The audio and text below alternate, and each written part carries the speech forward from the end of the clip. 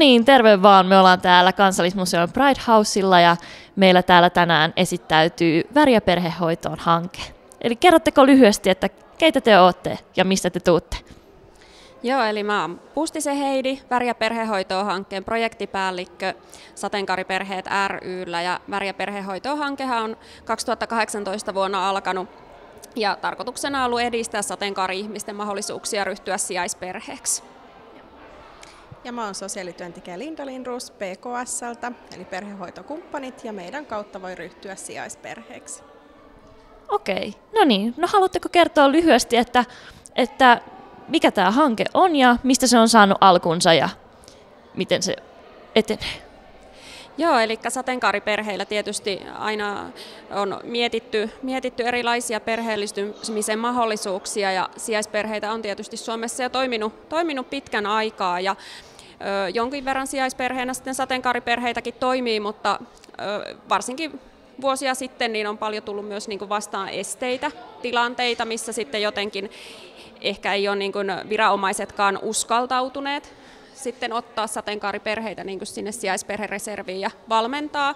Ja tällä hankkeella sitten on niin kuin pyritty tavoittaa ammattilaisia, kouluttaa ammattilaisia, tietotaitoa lisäämään sateenkaarikysymyksiin, mutta myös sitten tiedottaa sateenkaari-ihmisille siitä mahdollisuudesta ryhtyä sijaisvanhemmaksi. Eli suomalainen lainsäädäntö kuitenkin se mahdollistaa, eikä minkäänlaisia esteitä niin kuin sijaisperheeksi ryhtymiselle ole.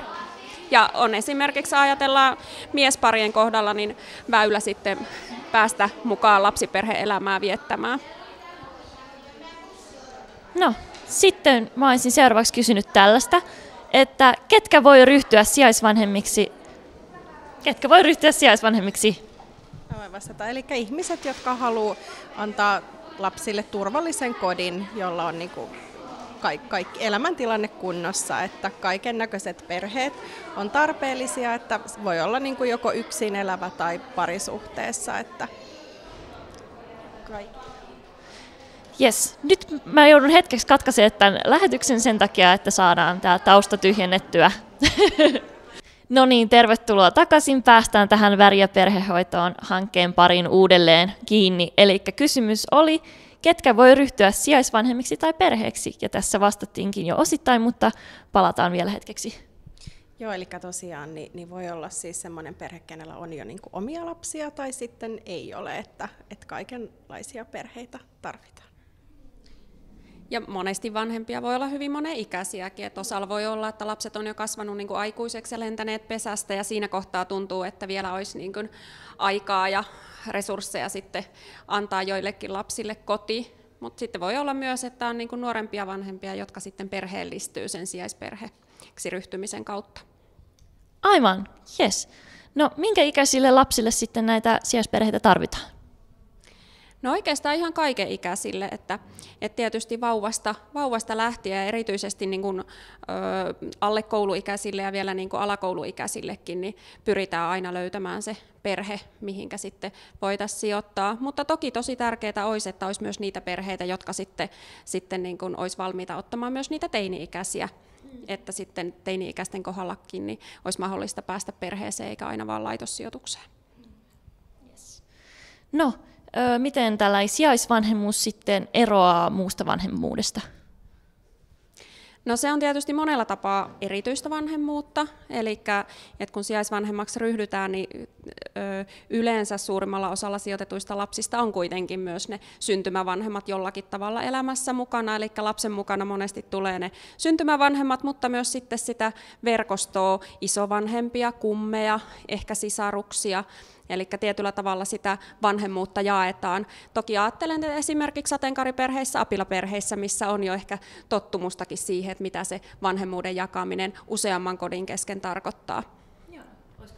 Joo, ja mä voin vielä sen verran sanoa, että, että tosiaan niin kuin yksi edellytys siinä on, että, että haluaa tehdä yhteistyötä myös niin kuin viranomaisten kanssa ja sitten lasten biologisten vanhempien kanssa. Että, ja varsinkin niin kuin perhehoitokumppaneiden kautta niin tulee niin kuin perhehoitokumppaneiden kautta se tuki. Että se on niin kuin semmoista erityistä meille. Joo, kuulostaa oikein järkenkäyvältä mielestäni. Öö, no milla, millaista arkea sitten näissä öö, sijaisperheissä eletään? No minkälaista arkea lapsiperheissä yleensä eletään, että ihan, ihan varmaan niitä samoja.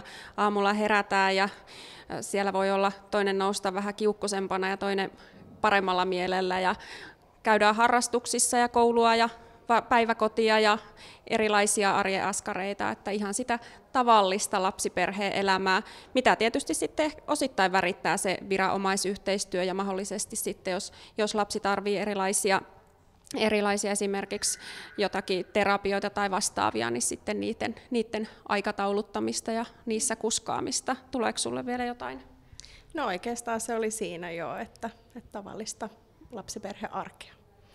Ja, ja sitten sen verran voi vielä sanoa, että, että silloin kun ryhtyy sijaisperheeksi, niin yleensä on niin edellytyksenä se, että toinen vanhemmista jää kotiin.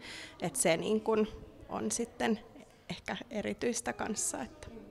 Sellainen, mikä näkyy sitten siinä selkeästi siinä arjessa.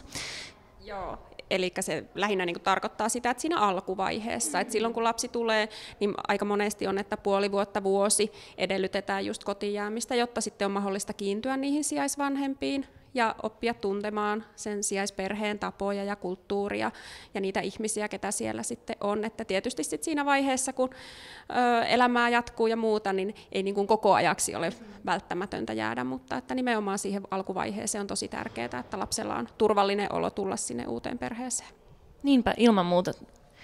Joo, no sitten kun on tämä väriä perhehoitoon hanke, niin mistä tästä löytää lisää tietoa, miten siihen voi osallistua? Joo, eli tämä hanke on tosiaan alkanut 2018 ja nyt niin viimeistä syksyä jo mennään, mutta tuota, lisätietoa löytyy sateenkaariperheiden nettisivuilta tai sitten Facebookista Väriä perhehoitoa hankkeen sivuilta. Ja tosiaan tänään nyt ollaan sitten neljään saakka myös täällä Pride Housella sitten niin ihmisille kertomassa perhehoidosta, että saa tulla kysymään tai keskustelemaan niistä omista pohdinnoista mahdollisesti, että mitä perhehoito voisi sitten just itselle, itselle tarjota. Ilman muuta. No, mulle ei nyt herää enempää kysyttävää. Onko teillä jotain vielä, mitä te haluaisitte kertoa, mikä tuntuu, että jäi mainitsematta?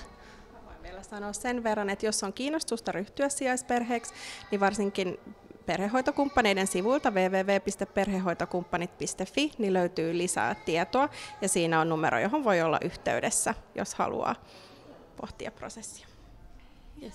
Perhehoitokumppanit on siis ollut yksi yhteistyökumppani Väriä perhehoitoa-hankkeessa, eli tätä hanketta on tietysti ei ole tehty sateenkaariperheissä yksin, vaan perhehoitokumppaneiden lisäksi tässä on ollut myös Perhehoitoliitto, Helsingin kaupunki, Pelastakaa lapset ry, Pesäpuu niin kuin yhteistyökumppanina, joiden kanssa sitten näitä asioita on yhteistyössä mietitty.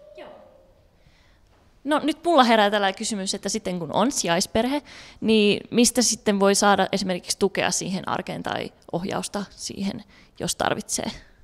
Jos on perhehoitokumppaneiden kautta sijaisperheenä, niin perhehoitokumppanit niin kuin tarjoaa sen tuen kuukausittain, että on se sosiaalityöntekijän tuki, että aina niin kuin yksilöllisesti perheen tuen tarpeen mukaan. Eli se vähän riippuu just, että kenen kautta, että osittain kunnat itse niin kuin, tuottaa perhehoitoa ja silloin kunnassa on sitten se sosiaalityöntekijä ja perhetyö, jotka sitten niin kuin, tukee myös sitä sijaisperhettä. Mutta sitten on myös yksityisiä palvelutuottajia ja järjestöjä, jotka tuottaa perhehoitoja. Yleensä sitten, jos se on sillä lailla, että kunta niin ostopalveluna hankkii perhehoidon näiltä tuottajilta, niin sitten siihen ostetaan myös se tuki sieltä. Mutta aina sijoitetun lapsen kohdalla tietysti on se, se totta, että, että sillä lapsella on vastuu sosiaalityöntekijä siellä kunnassa, joka vastaa niistä lapsen asioista ja joka kulkee sitten sen lapsen mukana siihen saakka, kun se sijoituskin kestää. Kiitoksia paljon tästä.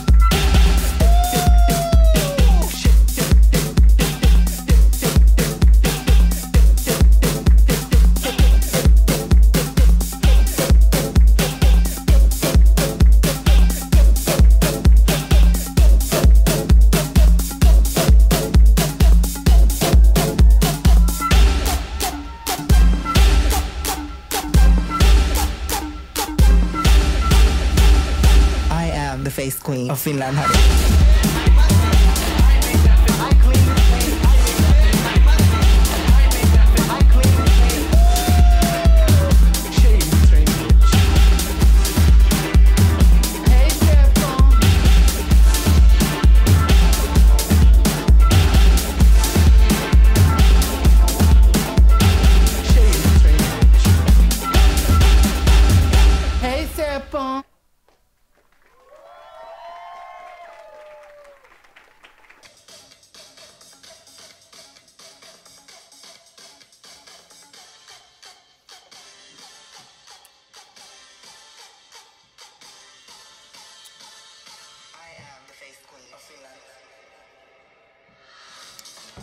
Hi everyone, this is the gorgeous House of Gucci Finland wishing you all a tremendously happy Pride. Happy Pride! Happy Pride!